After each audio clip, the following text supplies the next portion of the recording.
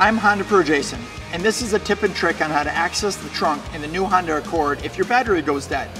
So if your battery goes dead in the vehicle and you need to access the trunk to get your jumper cables or your jumper box, how do you do it since most of the access is electronic? Let me show you.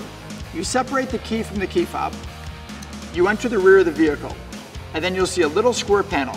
Using this as a tool, you pop open that panel, put your key inside and turn. The trunk opens right up.